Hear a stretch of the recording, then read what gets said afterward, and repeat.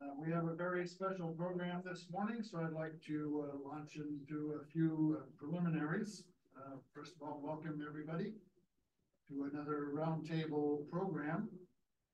And I'd like to start out by having the Pledge of Allegiance. I. I pledge allegiance to the flag of the United States of America, to the republic which stands one nation under God, indivisible, with liberty and justice for all.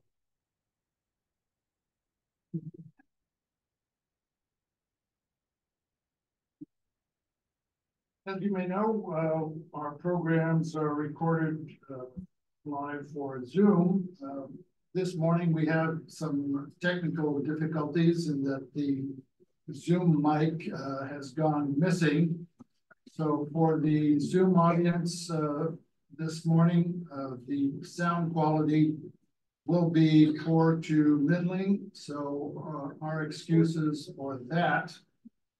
Uh, however, if uh, the Zoom audience uh, does uh, can hear well enough, we can still have the uh, chat function whereby you can ask questions uh, and we will attempt to answer them if you can hear well enough. So our apologies for that.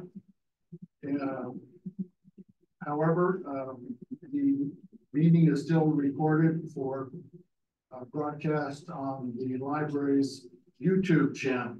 So that function will go on as normal.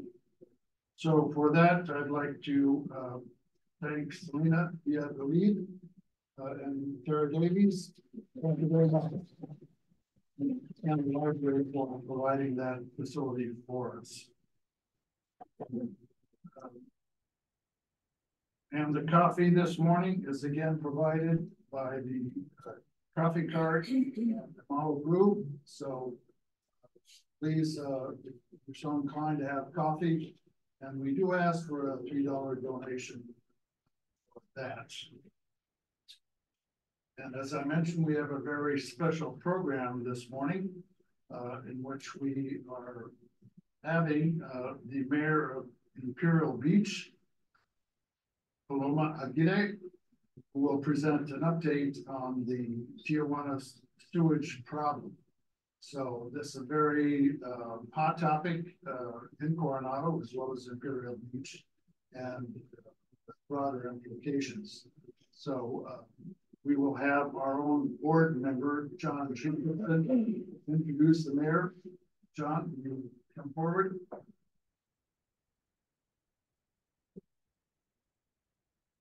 It's a pleasure to be able to announce our speaker for today, Paloma Aguirre, Mayor of the City of Imperial Beach. I first met Mayor Aguirre in 2017 when I um, decided to write an op-ed that was published in the San Diego Union on the pollution crisis at the border. Um, and subsequent to that, Mayor Aguirre and I both served on the Citizens Advisory Council for the US IBWC. There's not a person that doesn't have a broader and deeper understanding of this issue than Mayor Aguirre. And we should, we're very fortunate to have her here with us today. She holds a BA in psychology and also a master's degree in biodiversity, marine biodiversity and conservation from the Scripps Institute of Oceanography. Please help me in welcoming Mayor Paloma here.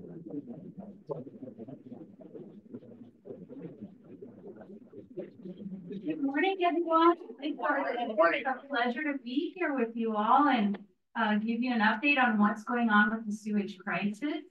How many of you are from here from Coronado? Do you have anybody here from Imperial Beach? Nice to have you both here. So again, again, my name is Paloma Aguirre. I'm the mayor of the city of Imperial Beach. I've been mayor now since November 2022, so going on a year and a half. Prior to that, I was uh, the, one of the last council members elected at large because now the city of Imperial Beach has gone districted. Uh, we have four districts and the districts and the mayors at large. Before that, I became involved in this issue because believe it or not, my goals and aspirations were to become one day a professional surfer. How'd I end up Uh, I, I first moved to Pearl Beach, well, I first surfed in Pearl Beach in two thousand and one. I wasn't able to afford to live by the beach in two thousand and three. Uh, I just fell in love with its people and its waves. I love Imperial Beach. And I didn't know that I had been surfing in polluted water for a number of years. I was raised in Puerto Vallarta, Mexico, where my mom and grandma were from. And seeing brown water meant, you know, it's rainwater, it's tropical storm runoff, right? It's normal. So one day I saw a man putting up signs on the sand that said clean water now. Looked really like, oh, what's that? So I approached him and I said, what, what is that? What are you doing? And he said, don't you know you surf the most polluted beach in America? No, no. That man is Rita the previous mayor of the city of Imperial Beach and the co-founder of Wild Coast. So he said, you know what, you should come and volunteer for us if you're interested in this issue. So the very next Monday, I went to the Wild Coast offices and I became a volunteer and I worked my way through becoming a coordinator, program manager, coastal director. And the more I learned about this issue, the more I realized how incredibly unjust and harming it is to our communities. And I'm going to go into the why and then I'm going to go into what is being done about it. Um, just briefly want to mention, I did a, a short sting in um, DC uh, when I was going to get my master's uh, Scripps Institutional Oceanography, I was selected as a 2016 John Knauss Fellow to go work in Washington, D.C. on the legislative branch. And just this morning, I had the great pleasure of meeting one of John Knauss's friends.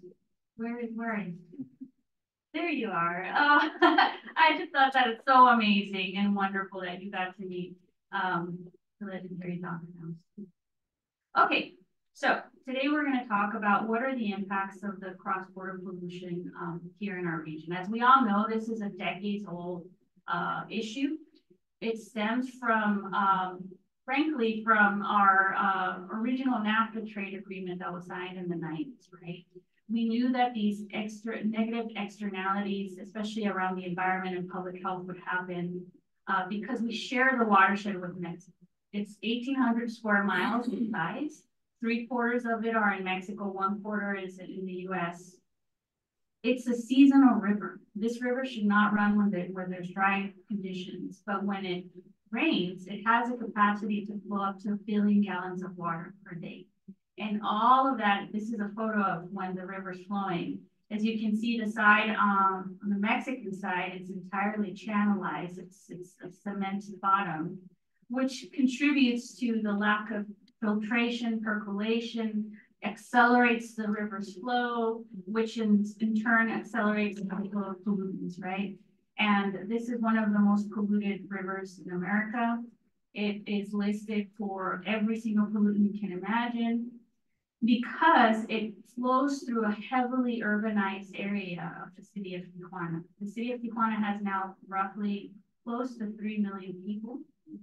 They don't have the same resources as we do. It's a fraction of the budget that, for example, the city of San Diego has.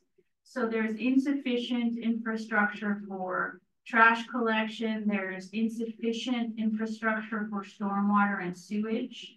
And they have a very unique situation where they have a combined stormwater and sewage infrastructure system. So every time it rains, you have these breaks and collapses of pipelines that spew sewage. And you can see on the right-hand side of the photo, the city of Tijuana is on average elevated 300 feet above sea level. So all of that drains down into the main stem of the river, through the estuary and out into the ocean. So just sewage has caused us over 820 consecutive days of beach closures. That is the southern end of our beach shoreline. That's from the border wall to basically South Seacoast Drive, which is the last houses that you can see next to the estuary, that's South Seacoast um, Drive.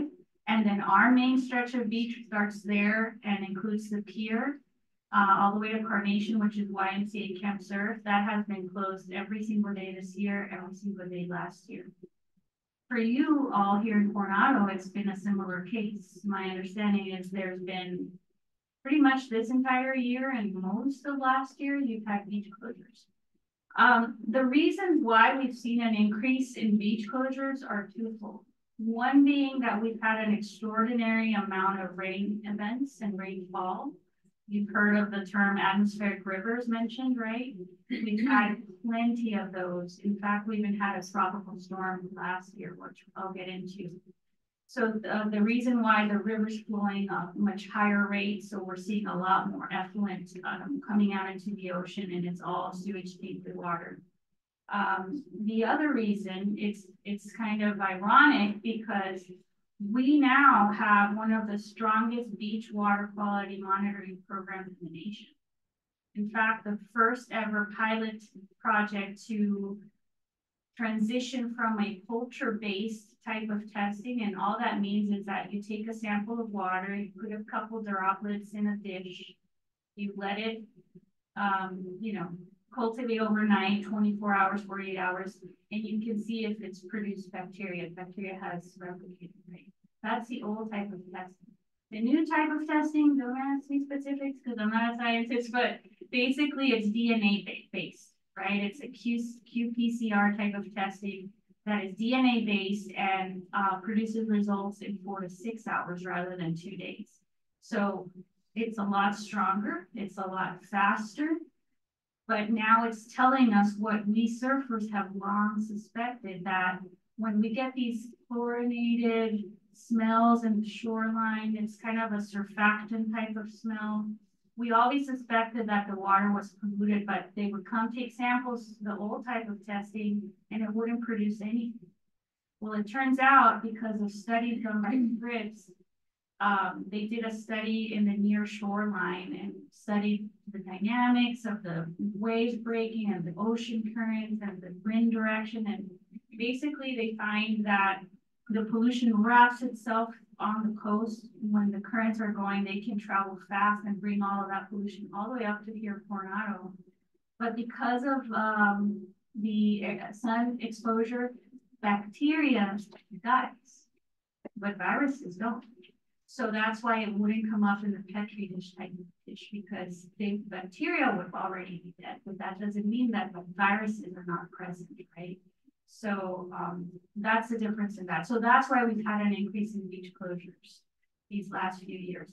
So what have been the impacts to the city of Imperial Beach? Much like yours, except our um, our city's budget is quite quite small in comparison, and our annual budget is roughly 29 million. Most of our um, income is, is um, very steady. It's property taxes, right? And, and, sales tax and transient occupancy taxes. Um, but guess what? what is affected when you have your beaches closed? Much like yours, tourism, right? We're both uh, tourist dependent communities. Um, that that is one of the shining, um, you know, benefits that we have to offer all of our visitors are beautiful sandy beaches. And when we have a year, two years, consecutive years of beach closures, well, people want to go to the beach and spend a beautiful day frolicking in the water. And next time they travel out of state or out of their country with their hard-earned money, they're gonna probably go somewhere else, right? So that's why when I when you hear me speak in the media and to anybody that will hear, it's like we cannot afford to wait another two to four to 10 years because our economy is going to be devastated. Um, just uh, wanted to briefly mention um, some of the things that Imperial Beach used to um, enjoy were summer events, right? I don't know if you remember, we used to have that Ironman, um, was it a semi-marathon or triathlon that they would run on Silver Strand and come all the way to Coronado and then back to Imperial Beach. That's no longer um, being held in Imperial Beach because we never, they never know when the beaches are right? In the past, it was kind of hit or miss. Now, those types of events have had to be canceled as well as surf contests. We used to have the, the, the dog surf contest and a lot of other fun events. None of the events that are related to water have been able to take place in Nkobe, causing a significant economic impacts. Another area that is severely impacting us is, um, you know, our water, um, programs such as the junior lifeguard. Imperial Beach's lifeguards depend highly on the, um, pipeline of future lifeguards that junior guards, um, you know, uh, study to and train to become. Now, um, last year, our program had to be canceled. This year, we're still trying to figure out if we can host it at Silver Strand on the Bay side. But guess what? There's other programs taking place there. There's the Silver Strand Junior Guard program. There's um, recreational activities that are happening there for underserved youth. So it's been quite challenging. Um, now, well, I'll go here first. Last year, uh, as you may recall, we, we suffered the first ever boil water advisory. Um, in actually it impacted um, the Cays, Imperial Beach, and Chula Vista. That followed the tropical storm Hilary that made landfall south from Imperial Beach. Um, it was devastating. It truly was. Why? Because our businesses had to be shut down for four days straight. All of our food and beverage businesses had to be shut down for four days until the investigation concluded. So that meant dozens of thousands of dollars in losses for these restaurants and bars and um, coffee shops. We didn't experience that even during COVID. That's how severe this impacted uh, our local economy. Um, the other thing is we had reports from residents who lived adjacent to, without them knowing that the sample had tested positive in the location that we were informed as city officials, that radius, about a four block radius close to that sample of water had uh, suffered an outbreak of Shigella and E. coli. Uh, we had um, several different um, residents in Imperial Beach report to us that they had become, uh, that had to be hospitalized. And uh, one of the women who described her experiences to me mentioned that the nurses would even come in with hazmat suits to um, check on her. Right. So obviously we were extremely concerned. We raised the alarm. Um, is it coincidence that the sample, drinking water sample tested was very close to both the ocean water and the estuary? Um, yeah. They have not determined the exact cause, if there was a correlation with the amount of rain, the amount of river flow that had uh, you know, been discharged into the coastal waters, we don't know. But what we do know is that during that storm event, there was a flow up to 7 billion gallons of water, sewage tainted water, flowing through the estuary and into our coast. So there may be a there there. That's up to the public health officials to determine, right? And um, this is a picture of um, one of the storm events that we had that was in combination with the king tides, a very high tide, and um, a strong swell that, that hit the city of Imperial Beach. This is at the end of Seacoast Drive, which is our southernmost um, street that runs parallel to uh, the ocean and has the ocean on the west side and the estuary to the east side of it and look at all of this polluted water. This is all just standing water.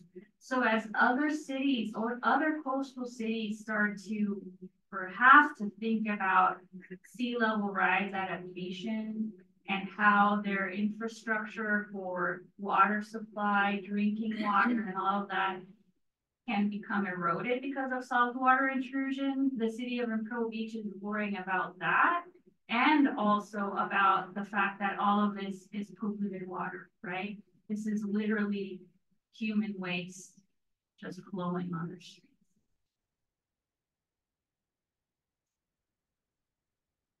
So in the last year and a half since I've become mayor, we've really ramped up our efforts um, in making sure that we sound all of the possible alarms that exist.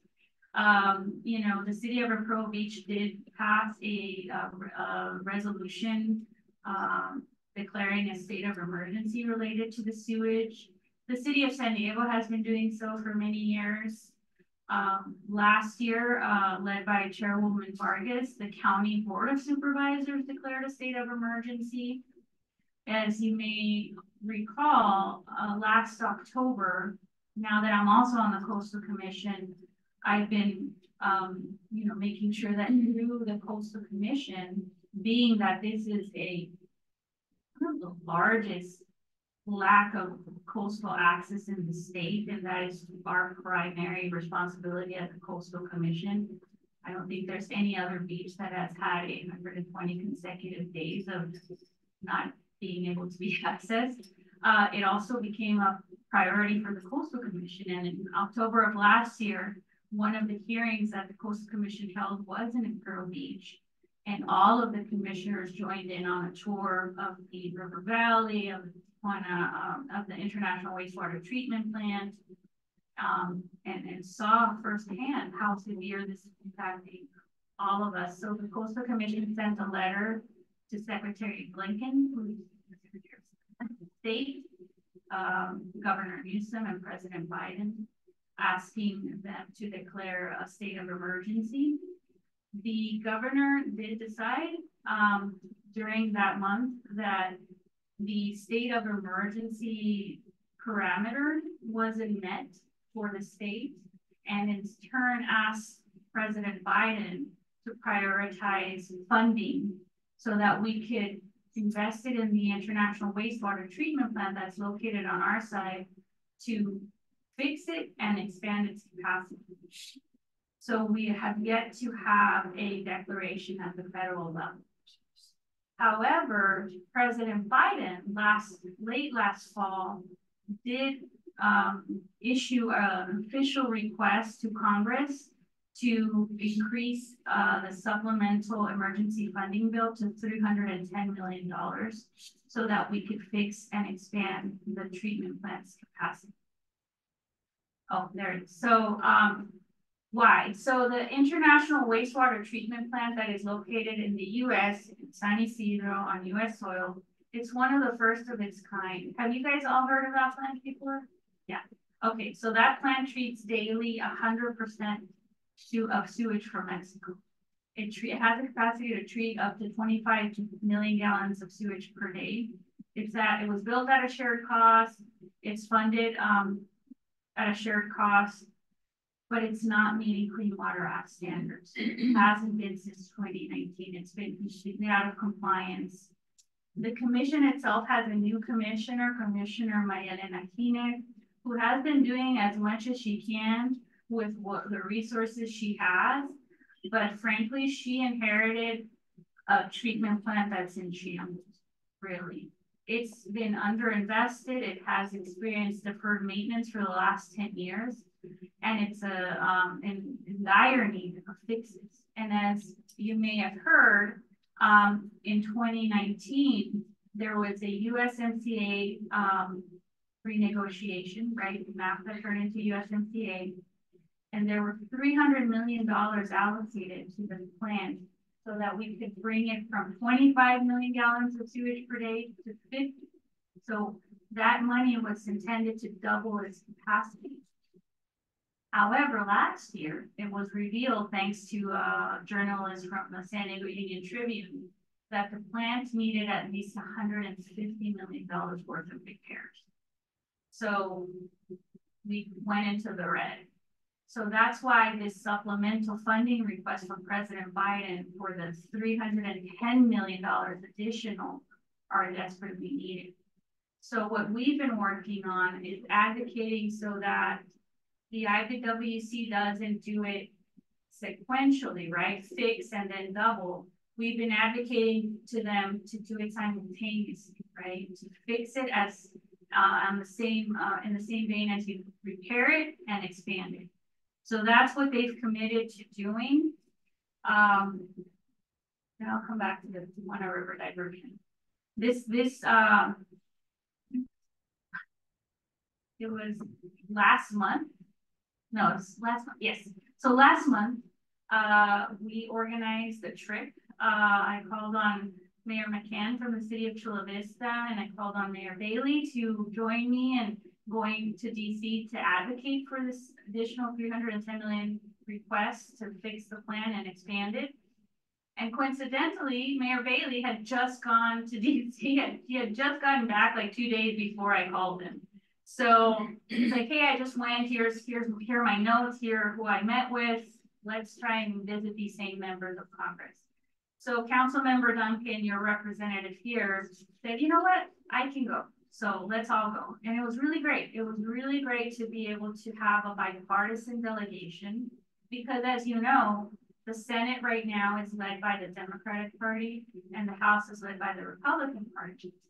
So it's, in my opinion, it was pivotal and critical to have members, local leaders represented from both sides of the aisle, meeting with members from both sides of the aisle. So that's exactly what we did. And we had some members from the community join us. I see Laura there in the back and some residents from Imperial Beach which also was very important to provide the community's perspective in our conversations.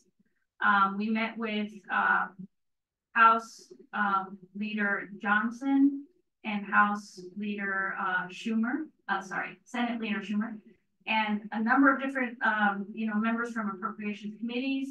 And it was very productive. And I can tell you from personal experience, having been going to DC for the last 10 years, advocating for funding, it was night and day. The difference that the, the, that I saw in these members of Congress of their understanding, of their willingness to fund the project and willingness to work together. Everybody across the board understands how dire the situation it, it is and how important this funding is.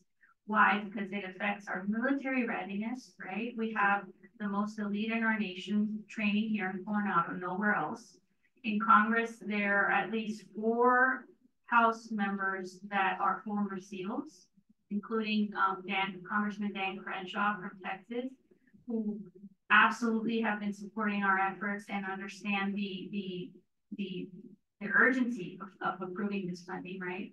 We talked to them about the economic impacts and especially with Chula Vista's Gaylord project being completed next year. It's a four and a half billion dollar investment that will bring very important economic um, benefits regionally, not just to Chula Vista, right? That can be jeopardized by having our beaches closed, and not to mention, right, the environmental and public health impacts of our community. So it was a very productive um, uh, delegation trip, and I am, um,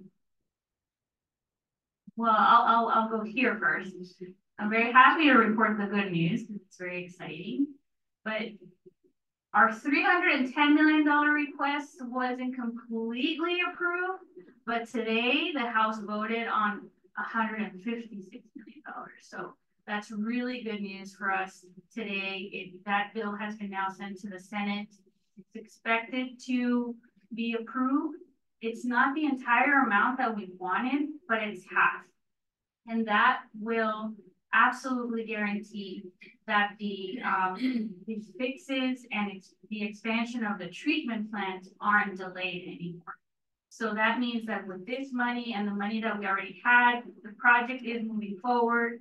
Uh, Commissioner Keenan, last Saturday, we held a meeting with Senator um, Laphonza Butler, who's the appointee for um, uh, Senator Feinstein's seat, met with us and um, we had a very long conversation and IBWC already has the request for bids for the construction and expansion of the treatment plant already out. So that should be going to a contractor quite soon in the next couple of months. So that's what I'm, I'm just painting that as an example that there's not going to be any further delays because of this funding. So that's a great, um, great, uh, you know, aspect of this conversation. Now, the other one is that on the Mexican side, there has been a lot of progress as well. So the Punta Bandera sewage treatment plant that you may all have heard on the news is a sewage treatment plant that's six miles south of the border. It treats one hundred percent of sewage from Tijuana. It has not been operational for at least fifteen years. It's discharging daily forty million gallons of sewage.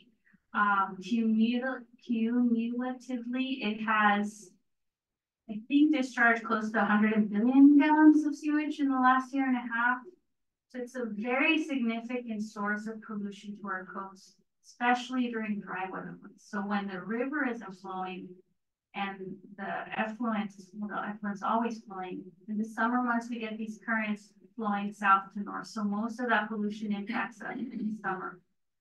As EPA has stated through their comprehensive solution analysis of the Tijuana River, eliminating that source of pollution will bring, will reduce our beach closures by basically hundred percent.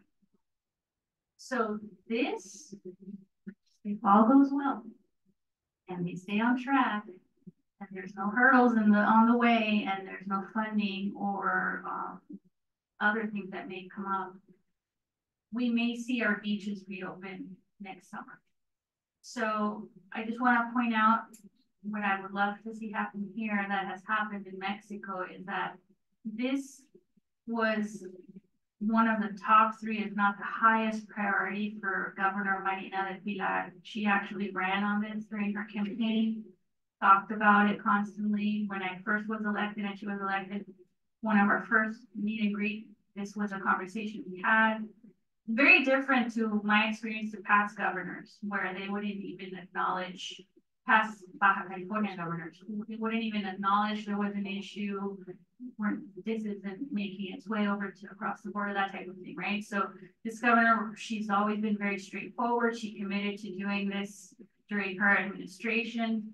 The plan to fix this plant was originally to have a private state federal funding um, partnership. And that was running into a lot of red tape and a lot of hurdles.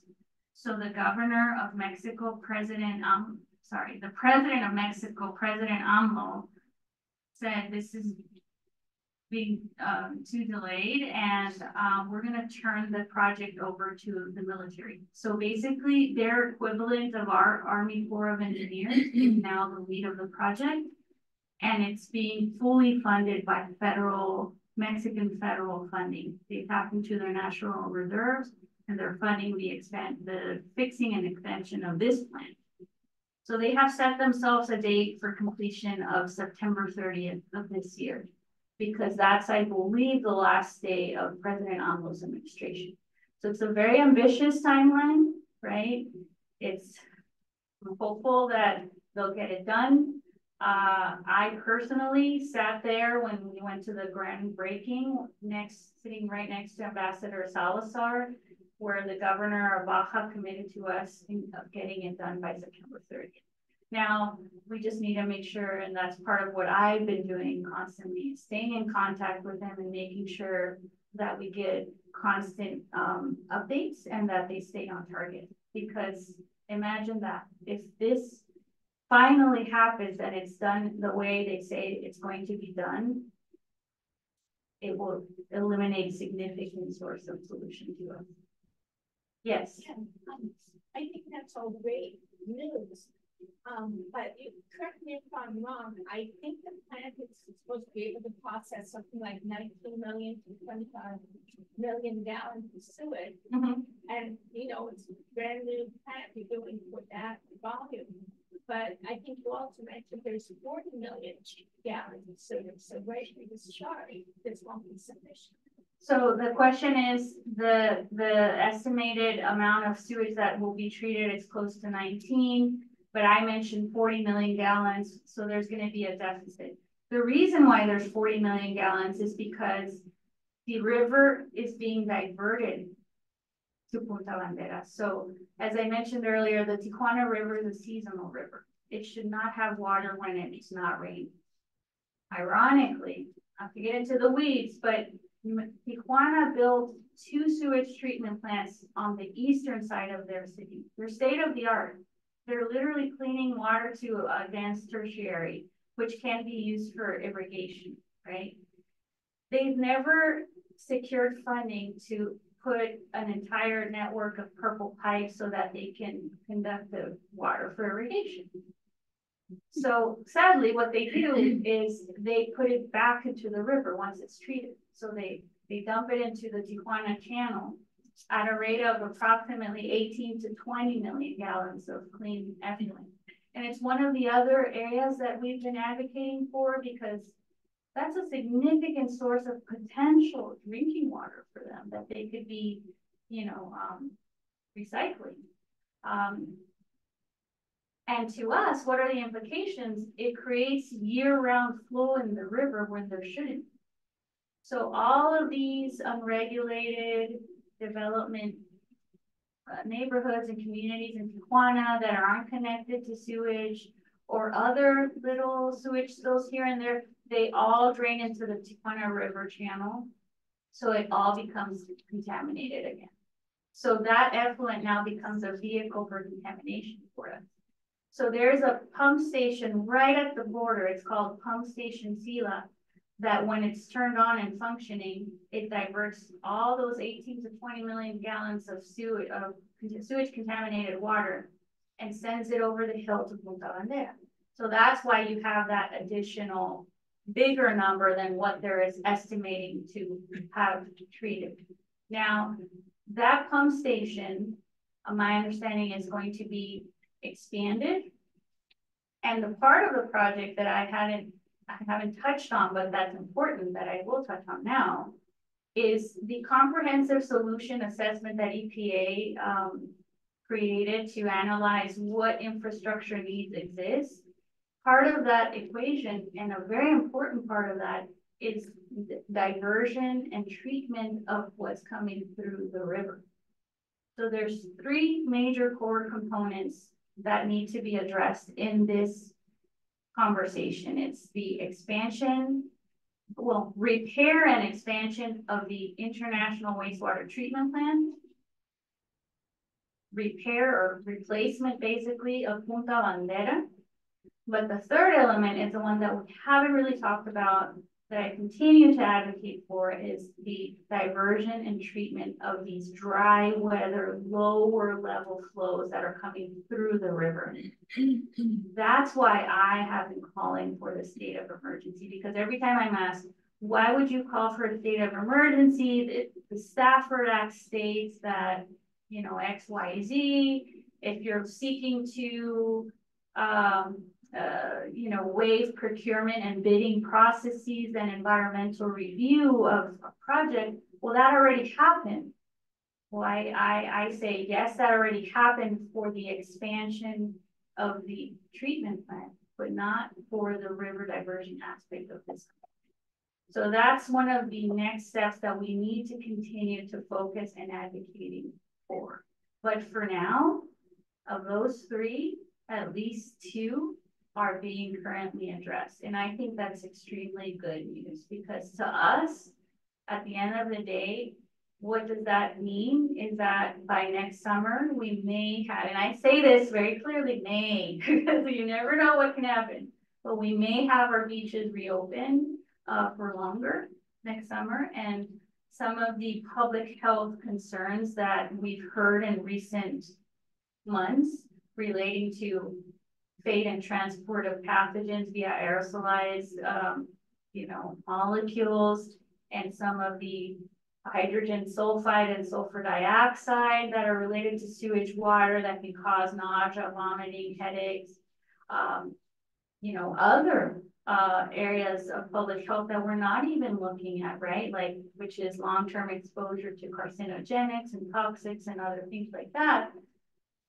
can be eliminated, right? So that is the, that is the hope.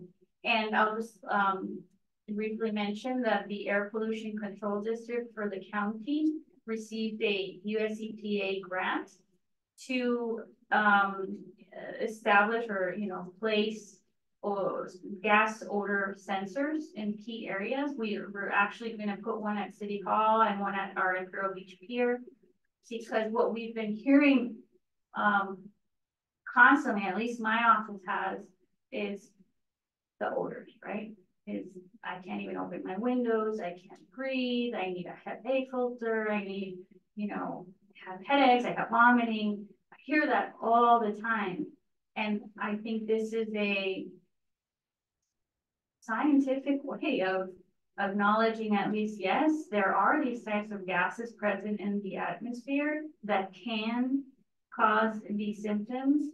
And we're collecting data so that we can further analyze what kind of interventions we can um, have the county public health department do. So with that, I'll pause because I want to make sure that people have an opportunity to ask questions. Uh, we'll, um, we will make a five minute, uh, coffee break and then we'll come back for question and answer.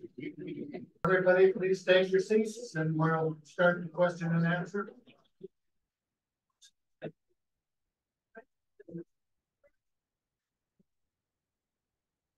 That, you Okay. I, I said earlier, you're in charge of uh, getting everybody seated in the back of the room. The first question is gonna be from Jim Kelly. Mayor Aguirre, uh, uh, thank you for the, uh, presentation, it was very interesting. Oh, The, uh, uh, Navy made a mistake, uh, putting the, uh, new trade, uh, training facility, uh, SEAL training facility where they did. And do you have any specific data as to how much of their training has been impacted? Uh, Any, any numbers that they had to cancel evolutions or portions of their training, or do you have any data on that? Well, I don't want to speak to whether they had a, if they made a mistake or not. Uh, I know they have a state of the art base, right? And Imperial Beach is a military town and we're so interconnected and interdependent with our, you know, military community that I feel very proud that they have established a billion dollar base that's north of our city, right? Um, however, the question about them being impacted has been a longstanding question that I don't think they wanted to be very, um, you know, open about because it is a, a, a, um, you know, national security matter, right? You never want to say, oh yeah, our most nation's most elite are being affected. However, my understanding is a congressional delegation, I believe led by Congressman Peters, did send an official request for information. And this was just in the last few weeks where they acknowledged that it does impact their operations. They didn't go into the specifics or give data on how many of their trainees are becoming ill or anything like that, but they absolutely acknowledge that it is impacting that uh, training and, and, and, and activities. So I think that's just another tool in our advocacy toolbox to raise the alarm and get it to the level that it needs. Next question. What, what would it take to get our, our Army, Army Corps of Engineers on the project? I think that's needs a, a presidential national emergency declaration.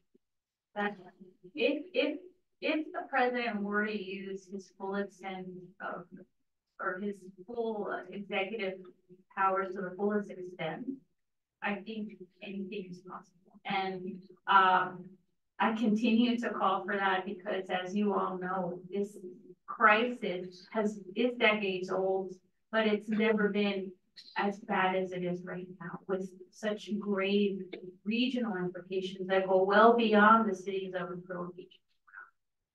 Next question. Hey, Madam Mayor, uh, in response to the question about the SEAL training, uh, the, the answer I would give, having some experience in that, is that, you know, training is inextricably related to readiness for any military organization, for any organization. So yes, there is an impact. Uh, they try to deal with it, but there's nothing they can do. In order to continue the training they have to have, which never stops, they have to continue training that environment. So that's a reality. Uh, what I would like to ask you is, um, your relationship with the, working with Congressman Peters' office, how has that been in terms of his advocacy in action? He has been fantastic. Um, he led this charge alongside obviously Congressman Vargas and the rest of the congressional delegation, but he's been front and center on this for years, but especially this past year when you know, timing is so critical, right? Um, he also commissioned a, and I'll put it up on the slide right now, but he also commissioned a white paper.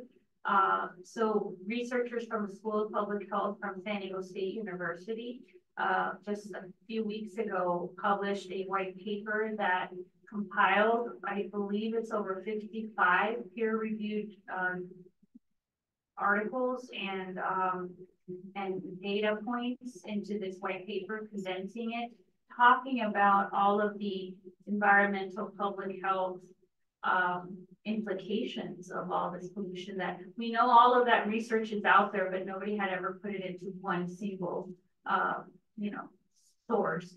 And he commissioned that and he and I partnered in, in sharing that with the media, which resulted in a um, publication in The Hill, which is one of the articles that most Congress members read, and also a Wall Street Journal article, which has national, uh, you know, coverage, and um, another 60 Minutes um, you know, report that was broadcast nationally too.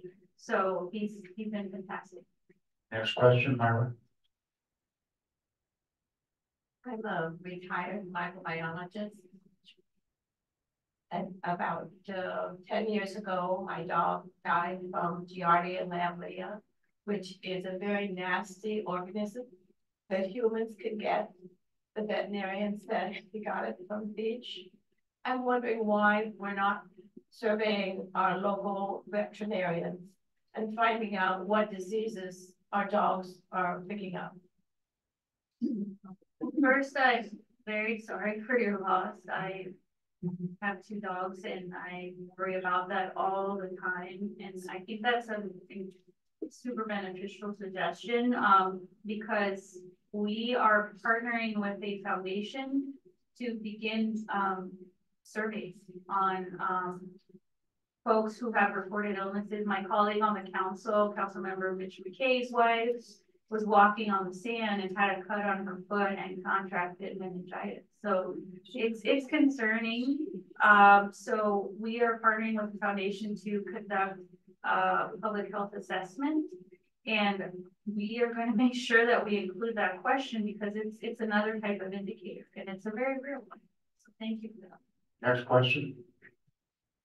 Thank you for a very cogent talk on a very vital, emphasizing national issue. It's, it's a hundred percent federal deal, even though we're impacted by it. Uh, just a straight comment here, thirty-four trillion dollars is the debt of the United States of America. That's uh, thirty-four thousand billion dollars. And Congress carves about a few hundred million dollars. Or, why don't they just go down there with about three or four billion dollars and take care of it, be done with it, be over it? That's it. I, I, I, hundred and fifty-six million dollars is a drop in the bucket, right? Compared to our trillion, I think today was announced the, the spending bill is a trillion dollars, so. Next question. Mayor Aguirre, thank you for coming. My name is Laura Wilkinson Sinton. My husband is immunocompromised. I live in the Coronado Cays. My beach has been closed since February. We are really concerned about the public health impacts, um, uh, especially because of the aerosolized, um, you know, germs and viruses that are coming off. And I understand that the, the original Scripps oceanography study had them going as far as 10 or 20 miles inland which could devastate our economy here, as well as, you know, our property values would absolutely crater with something like this. Our county department of public health should, in my opinion, should be doing a lot more. They're the ones who control those public health dollars and the public health authorities. And I know that we've asked for economic impact reports and we've asked for health impact reports. Where is our county and should we be calling our county supervisors and asking for? I mean, I guess you can't give an opinion, but I think we should be calling our county supervisors because the health of our pets and the health of ourselves and our loved ones is critically important, as well as our Navy, our Border Patrol, our first responders will have to go in that water. They don't have a choice. So um, we should be doing more of that. Are there any other levers we can pull from a public health standpoint? Well, and again, I referenced this earlier, my office gets the calls and the emails beyond people who live in Imperial Beach, right? People who reside next to the river valley, for Nestor, like San Ysidro, I mean, the gamut. We've had cases of meningitis, of uh, MRSA infections, flesh-eating bacteria, uh, eye infections, ear infections, sinus infections, um, you know, the gamut. So it it is, I'm extremely concerned about the public health impacts, especially uh, following this white paper that Congressmember Peters uh, published. Uh, our local health care clinic, the South Bay Urgent Care, which is owned by doctors Matt and Kimberly Dixon, have uh, reported an increase in gastrointestinal cases, uh, gastrointestinal illnesses, um, following rainfall events. Um, the, the, the challenge is that the public health utilizes a different type of methodology, which is to look at death certificates, to look at hospitalizations, and something they call syndromic surveillance. Um, I think that there's an opportunity for us to partner with the public health department to take a deeper look, right? Because if they're not seeing upticks, but we on the ground, even if it's anecdotal, it's real and it's happening. Um, how do we bridge that gap? And that's one of the reasons why I'm partnering with this foundation to take a closer look and survey some of these self-reported elements, look at data from local clinics and potentially even veterinarian clinics, because those of us who live in these, in these conditions know that this is not normal. And it's not, it shouldn't be accepted as normal to live next to open sewers. It shouldn't be normal for us to not be able to take a walk on the beach because we feel like we can get meningitis. It should not be normal for us to not be able to open our windows during a hot summer night because we can't breathe because we're breathing in sewage, right? Next question. Thank you, nice presentation. Can you hear me now? Mm-hmm. Nice presentation. Thank you. My name is Harvey. And as I watched you listen to your presentation, I kept hearing we're throwing money, uh, throwing motors, pumps, electricity, everything, energy being used to treat this water. But I've heard nothing about pulling the slabs of concrete up, re-establishing a riparian way in the river. Let it stay through. All over the world, people are doing this now. They're pulling up the infrastructure that we've made mistakes in building. And now in Rio several weeks ago, and they're doing the same thing there. They're pulling the, pulling the, the, uh, the drainage ditches up, allowing the riparian ways to come back. This proven, it's proven to work. Um, so, no one, did, he did not mention that. That's hundred percent accurate. I think there's a worldwide movement, especially here in the US, to restore riverine systems back to their natural state because they bring a lot of benefits. Uh, especially the LA River, I think they're restoring it. The challenge with the Tijuana River is that on our side, it's not channeled. It's actually right at the border, west, it's entirely in its natural state. The challenge is on the Mexican side. It's entirely cemented and and channelized. They have the reasons, it's to protect public safety, right, and flood control. Uh, I, I do believe there's a movement of advocates and environmentalists to try and get to um, a state of restoration. But that's an effort that's being led by Mexican nationals in Mexico. We can make suggestions, of course, but you know, it's, there's not sovereign nation. Next question, Morgan. Mayor Aguirre, thank you so much for coming today. Great presentation. And thank you for being an advocate for some solutions here. Um, well, in the presentations, it seems like they oftentimes focus uh, multiple organizations on San Diego. Of course, we have the resources, but I often wonder with that Punta Banderas location, it's right near their beach. And, and I'm heartened. I see more and more Mexican citizens advocating for solutions too.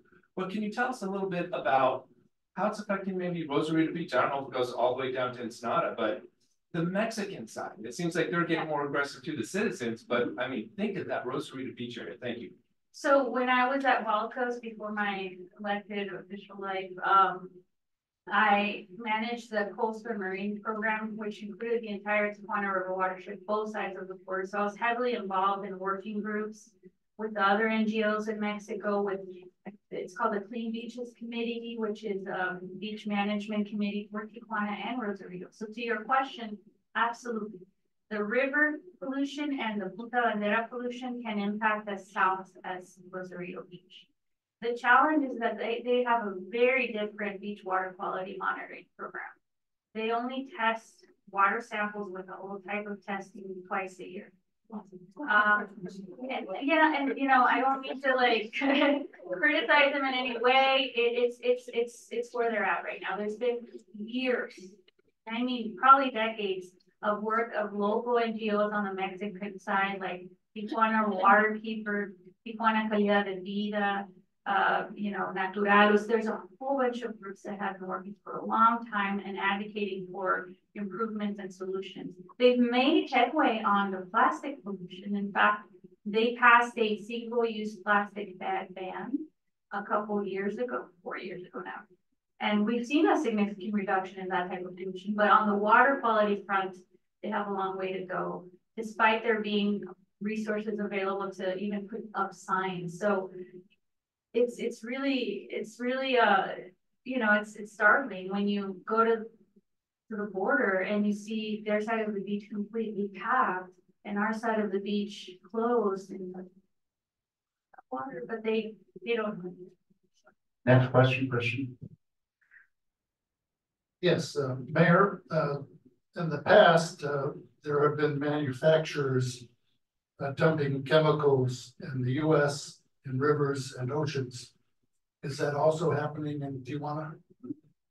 There was, um, the past governor, Governor Jaime Bonilla, did an assessment and he found a number, And it was somewhere in the news, I'll, I'll see if I can find it, but he had a list of, uh, the top polluters that were dumping uh, discharges and illegal discharges into the river.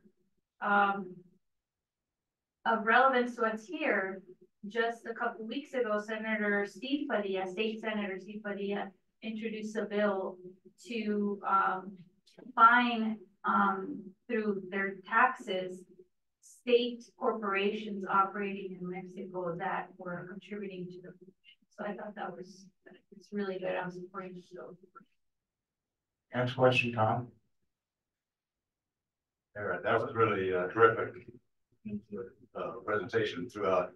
I have the impression that uh, there was over three hundred million dollars two or even three years ago that was uh, appropriated. Now maybe another 160 million. Hopefully it'll come through. And uh, is has that other money been? Uh, I thought we were close to uh, 700 or even 800 million total. Has that money, U.S. money, has that been uh, effectively uh, spent? Is it still available? Uh, what's story on past money? Yeah, I don't, I don't think it's been entirely spent. I think it's been allocated to IBWC and that's what they're going to be using to start the bidding and procurement process. This additional funding is just to make sure that we don't fall short along the way once the project is up and running as far as the expansion and now what we have learned last year is repair. So total right now, as long as it passes the Senate, we'll have a total four hundred and fifty-six million. The total cost that Commissioner Giner and others are estimating ranges between six hundred and nine, nine hundred million dollars. Um, I think it's more than that because of inflation, supply chain costs, and other hurdles that you might encounter. Even if we were to say, let's highball it and say one point five billion, that's a drop in the bucket compared to our trillion dollar budget approved this year. So it's there and it's being used. Um, is it enough? Not at this particular moment in time, but at least the supplemental funding was not denied, and that would put us in a precarious situation. Has it, has it been passed by both houses? The one fifty-six? Yeah. I think the Senate is voting on it today. The House voted on it this morning. I heard on it on NPR. Next question.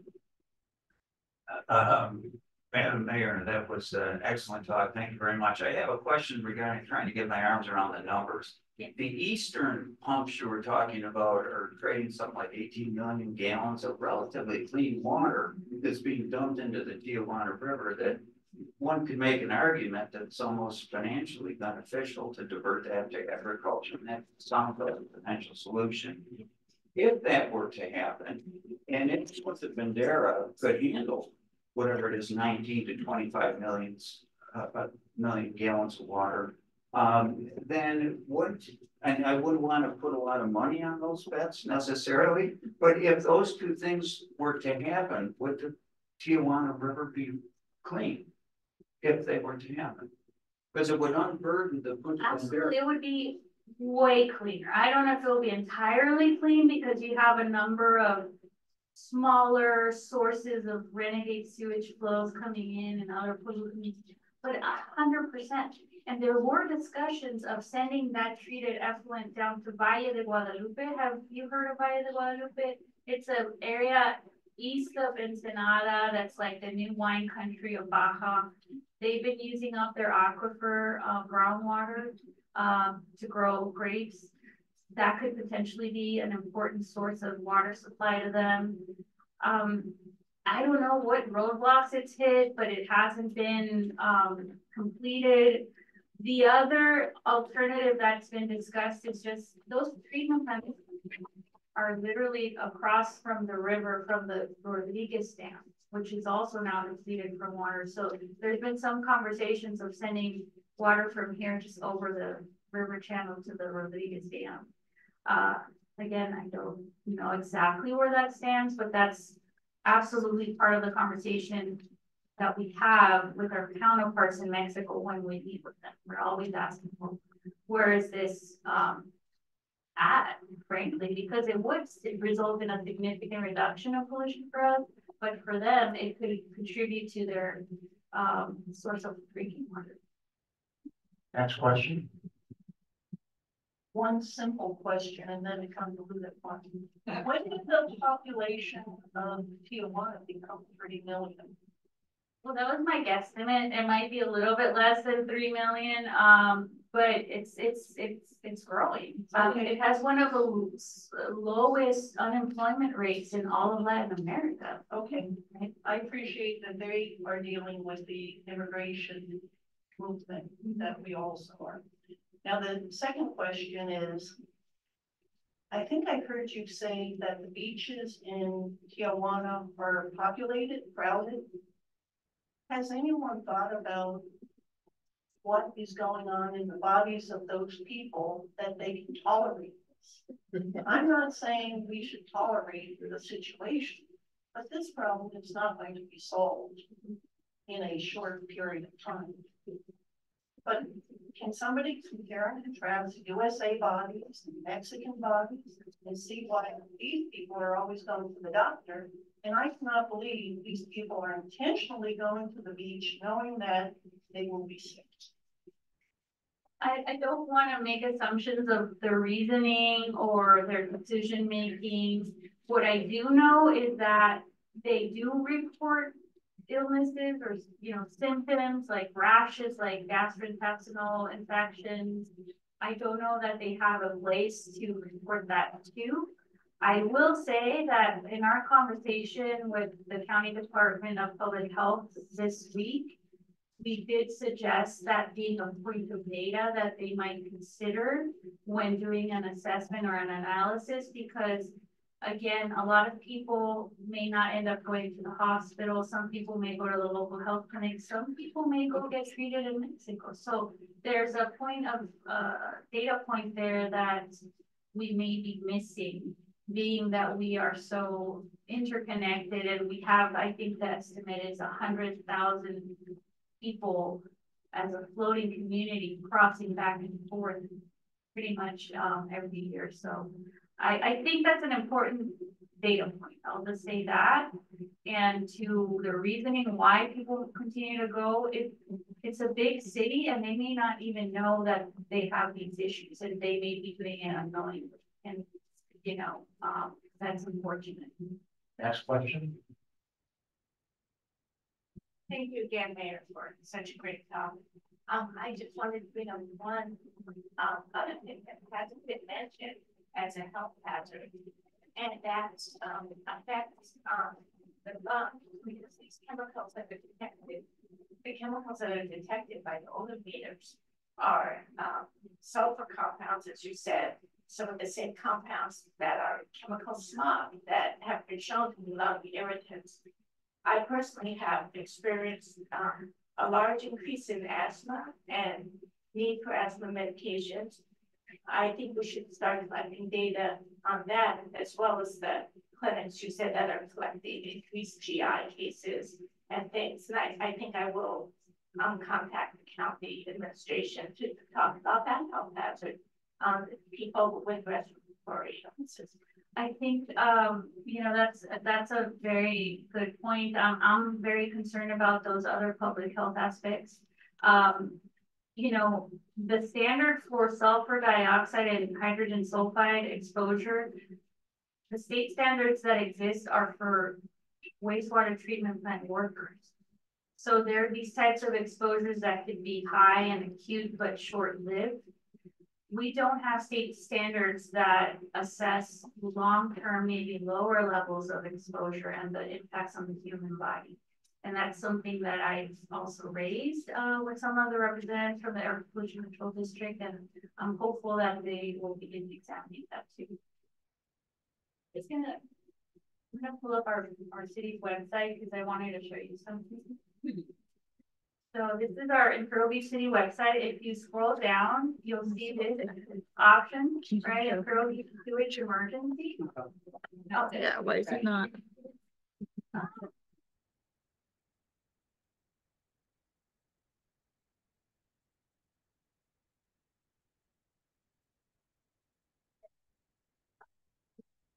Okay, so you go to imperialbeachca.gov, scroll down, and here you click on Imperial Beach Sewage Emergency.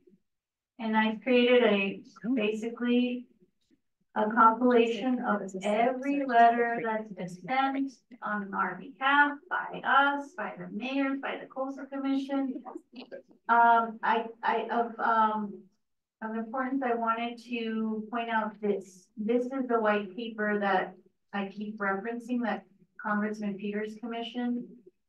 at the end of it you can go and research your own um, references here. These are all the peer-reviewed articles and reports that they compiled here for your use. So anyway, to wrap it up there. Do you find it on your website? I'm sorry. So you just go to um, let's go to our website here.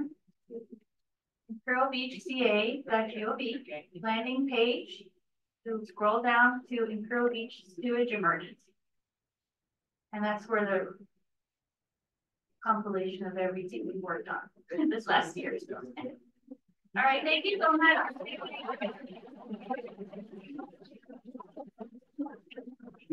Thank you very much, Mayor. That was very, very informative. And uh, we thank you very much for coming to speak to the roundtable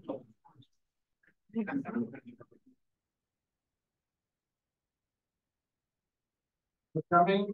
Let me uh, remind you that we will be meeting again um, March 26th. We will be having our next program, and we are very happy to have back as our speaker Vice Admiral Charles Martoglio. Uh, Admiral will be speaking on America's security in the era of accelerating uncertainty. So that'll be a great program. Uh, we look forward to having you back April 26th here in the Winn Room for our next program. Thank you all for coming.